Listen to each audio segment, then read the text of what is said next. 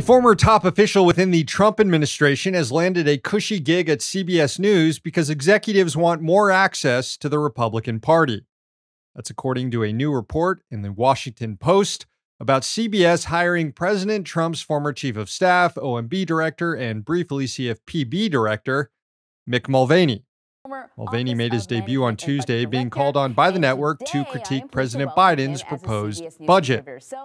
Given Mulvaney's prior work, attacking the press, and lying on behalf of the administration, CBS workers were upset by the decision. The Post reported that during a staff meeting earlier this month, executives said they intended to bring on more Republican commentators because it was likely Democrats will get wiped out in the midterms. Honestly, they're Probably right about that one.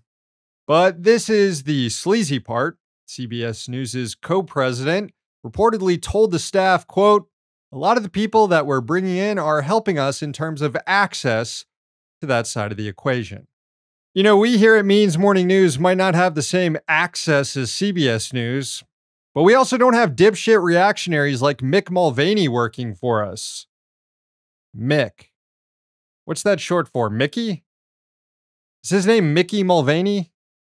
Hey, thanks for watching. Hit the subscribe button so you don't miss any of our new videos. Also, if you want to see Means Morning News in its complete form, not just the clips we post here, head on over to Means TV and get access to all our new episodes and our entire backlog, plus tons of other great movies and original TV shows.